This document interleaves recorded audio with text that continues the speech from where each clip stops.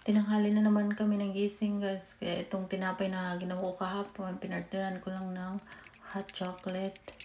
At mayat maya ay dumating ang asawa ko, may dalang pasalubong galing sa Portos. Super excited kami dahil alam, alam ng mga taga California na pag Portos Bakery, sobrang sarap ng kanilang mga pastries. So, yan, binilan niya kami ng guava and cheese straddle at itong spinach cheese, uh, spinach and feta. Tapos yan, yung kinain ko na yung nabili kong nectarine.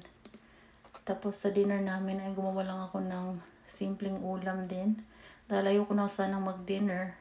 Kasi itong anak ko, gusto niya kumain ng kanin. Wala naman akong ibang maipapaulam sa kanya. Kaya nagbukas lang tayo ng sardinas. At nakita din niya itong nabili kong raw honey dun sa fridge. Tinikman niya.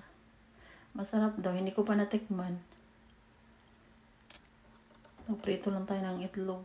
Simple lang talaga itong ulam natin. Madali ang ulam. At least may pang-ulam tayo. Kahit murang ulam lang. Solve na solve na.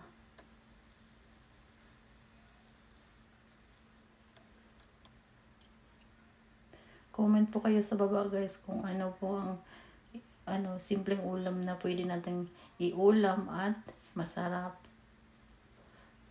Ako palagi ako nanonood ng mga content creator na nagluluto ng mga ulam or mga pastries. Pero hindi talaga ako magaling sa pagluluto kaya minsan patansya-tansya lang.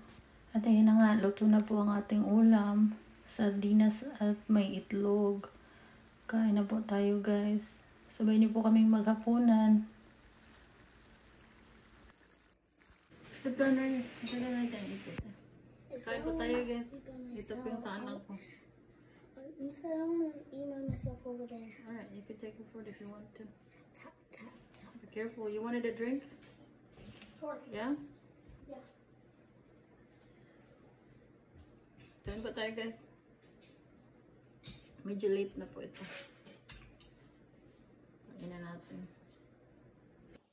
Isa po sa mga teknik ko guys kung bakit um, mali, o konti lang po ang niluluto ko at pati na yung kanin namin is maliit na rice cooker po ang ginamit ko is para makontrol po yung uh, pagkain ko para kahit medyo gutom pa ako hindi na ako makapag extra rice 'di ba masarap pag extra rice at umiinom na rin po ako ng maraming tubig every day at umiwas po ako sa mga soft drinks para naman maging successful itong pag ano natin pag control ng ating timbang.